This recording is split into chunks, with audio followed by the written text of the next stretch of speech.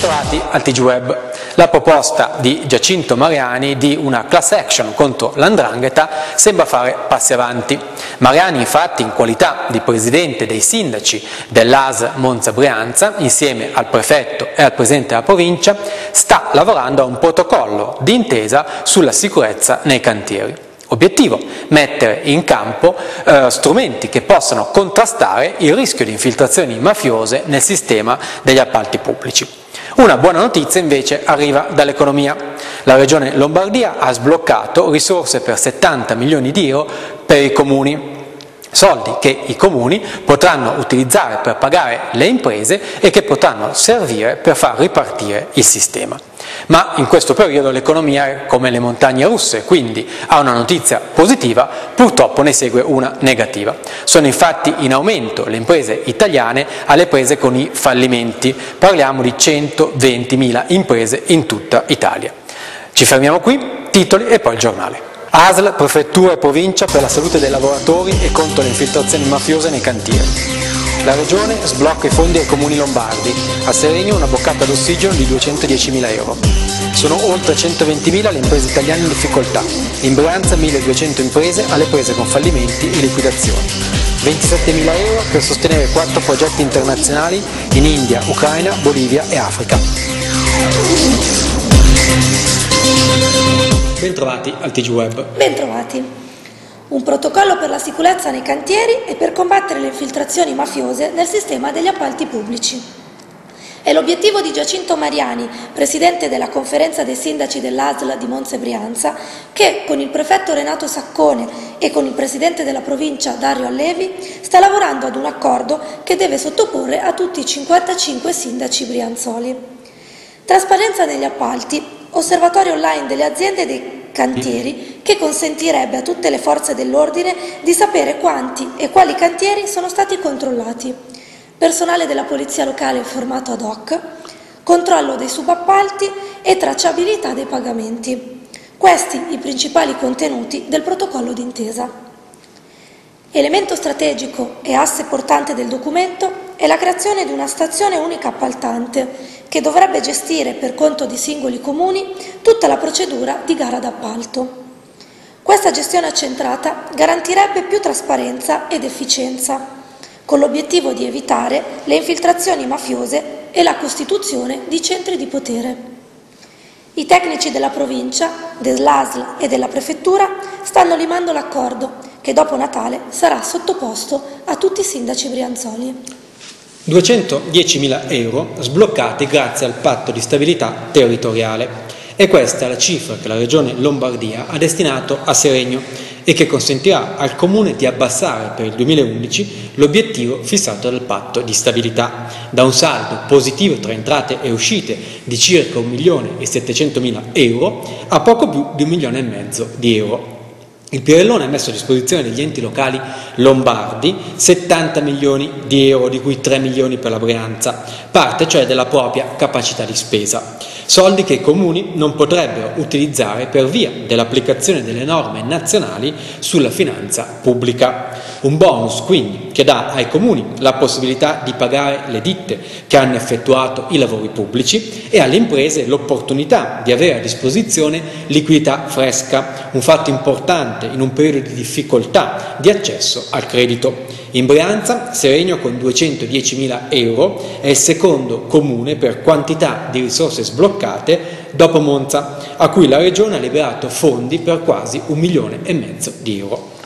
E continuiamo a parlare di economia. La crisi continua a mettere vittime tra le imprese in Italia. Tra il 2010 e il 2011 le aziende in difficoltà sono aumentate dello 0,3%. Ciò significa che tra fallimenti, liquidazioni e concordati preventivi sono oltre 120.000 le imprese italiane in difficoltà, il 2,3% del totale, in pratica una impresa su 50. Dal punto di vista territoriale è il centro-sud ad essere maggiormente colpito dalla crisi economica. In media invece il dato lombardo 2,2%, mentre a Monza e Brianza le imprese che devono fare i conti con fallimenti o liquidazioni sono l'1,9%. Parliamo di 1250 imprese, 2 su 100, un dato inferiore alla media regionale, ma in crescita del 4,6% negli ultimi due anni. India, Ucraina, Bolivia e Costa d'Avorio. Sono questi i paesi a cui sarà destinato un contributo economico di 27.000 euro che l'amministrazione mette a disposizione per sostenere i progetti di cooperazione internazionale. Il punteggio più alto, 361 punti, è stato assegnato all'associazione Auxilium per costruire nuovi spazi per una scuola elementare presso la periferia di Goa in India. Il finanziamento è di 9.000 euro. Secondo posto con 356 punti per Un gesto per loro, che con un contributo di 8.500 euro sosterrà un progetto per ristrutturare il reparto di neurochirurgia pediatrica dell'ospedale di Kiev. Il terzo progetto finanziato è quello dell'associazione Carla Crippa, che ha ottenuto 6.197 euro per la sicurezza alimentare dei bambini dell'Hogar dell'Esperanza di Santa Cruz de la Sierra in Bolivia. L'Ogar è un centro che ospita bambini che altrimenti sarebbero costretti a vivere in carcere con i genitori. In questo modo i piccoli possono ricevere istruzione scolastica e cure mediche adeguate. Infine 3.400 euro per il gruppo Solidarietà Africa per la costruzione delle strutture sanitarie di un villaggio nell'ovest della Costa d'Avorio è di 160.000 euro per la manutenzione ordinaria del cimitero principale e di quello di San Carlo, la cifra prevista per il 2012 e per il 2013 dall'amministrazione per appaltare il servizio cimiteriale. I servizi comprendono l'apertura e la chiusura dei cimiteri, il controllo e la delle persone all'interno del cimitero al momento della chiusura, la pulizia dei percorsi pedonali e dei servizi igienici, la manutenzione del verde e la gestione del cestino dei rifiuti. L'appalto avverrà con trattativa privata. A Lazzaretto è invece in arrivo un nuovo sistema di illuminazione. L'amministrazione ha stanziato 20.000 euro per rifare l'illuminazione pubblica in Piazza Liberazione e in Via Vivaldi.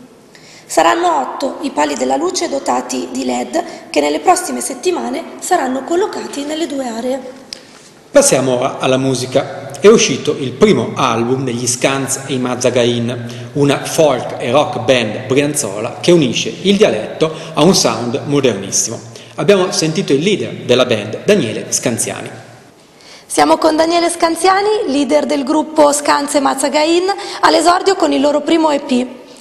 Voi avete un sonorità rock, ma testi in lingua brianzola. Come nasce un po' l'idea di questo progetto? Ma è un progetto nato tre anni fa, eh, un po' per gioco, un po' per divertimento. Eh, ci siamo trovati, un gruppo di amici, eh, abbiamo deciso un po' di mettere in musica dei testi appunto in dialetto brianzolo e così pian pianino è una, un progetto, eh, tra l'altro adesso con il nuovo disco, con il nuovo EP, eh, è nata anche una collaborazione con eh, un produttore artistico tra l'altro eh, di Catania, per cui... Quindi voi presentate questo EP oltre che nei locali Brianzoli in giro per tutta l'Italia? Sì, esatto, siamo, adesso giriamo un po' in questo periodo, siamo nei locali Brianzoli, siamo appena tornati da Bari eh, per la presentazione appunto del, dell'EP, eh, l'anno scorso, eh, quest'estate siamo andati in, in, Sicilia per un contest, tra l'altro eh, guadagnando il terzo posto.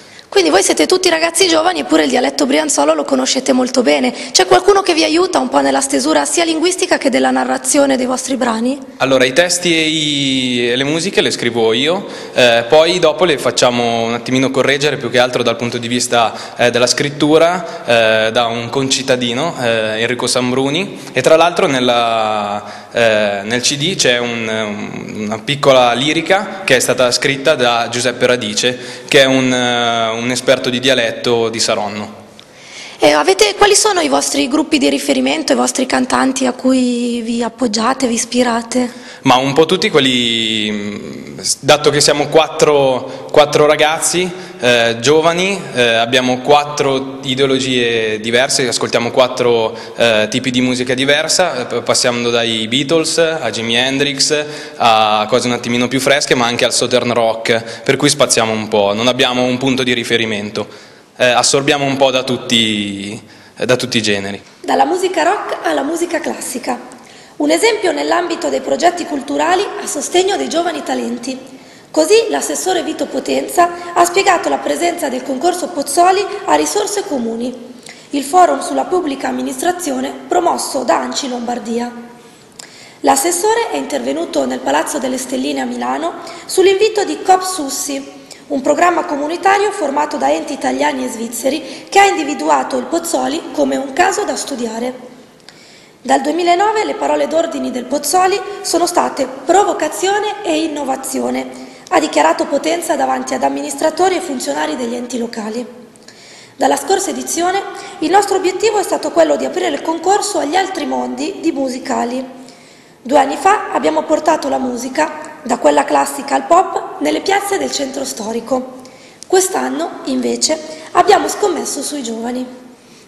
L'assessore, nella sua relazione, ha messo in evidenza i progetti portati avanti in questa edizione, come il Pozzoli Village, uno spazio dove i cittadini hanno avuto la possibilità di ascoltare musica di qualità, il progetto Be Part of It, che ha coinvolto un centinaio di studenti la partnership con due web radio, BM Radio e Young Radio e infine il voto popolare.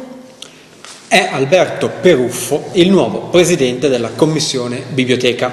È stato eletto con cinque voti mercoledì scorso al posto del dimissionario Danilo Sandrini. Gli altri commissari sono Gabriella Beretta, Alessandra Bonizzoni, Fabio Paolo Costanza, Franco Formenti, Francesco Mandarano, Nicole Pellizzoni e Paola Pellizzoni. La Commissione Biblioteca dispone di una casella di posta elettronica commissione.biblioteca.info dove gli utenti possono indirizzare le loro idee, proposte e suggerimenti. Passiamo ora al calcio. La peggior prestazione degli azzurri ha portato a una pesante sconfitta sul campo del Pizzighettone, reduce da 12 risultati utili consecutivi.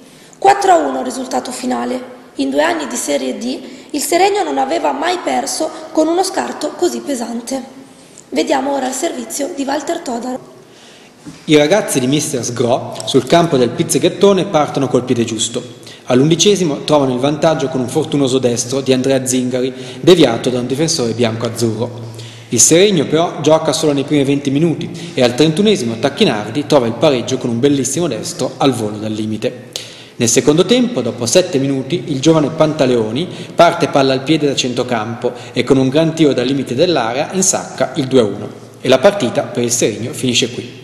Il pizzeghettone nell'ultimo quarto d'ora dilaga con la doppietta di Mancuso, un gol facile sotto porta e un contropiede nato da un rimpallo fortunoso. Ora il Seregno è terzultimo con 14 punti e domenica pomeriggio al Ferruccio arriva la prima della classe, lo Sterlirgarda. Terminiamo con le previsioni per il fine settimana. È in arrivo una debole perturbazione atlantica proveniente da nord-ovest. Per il weekend quindi si prevede cielo nuvoloso con parziali schiarite e possibilità di deboli piogge. Le temperature continueranno a rimanere sopra la media del periodo. Con questo abbiamo concluso, vi ringrazio e vi do appuntamento a settimana prossima. Arrivederci.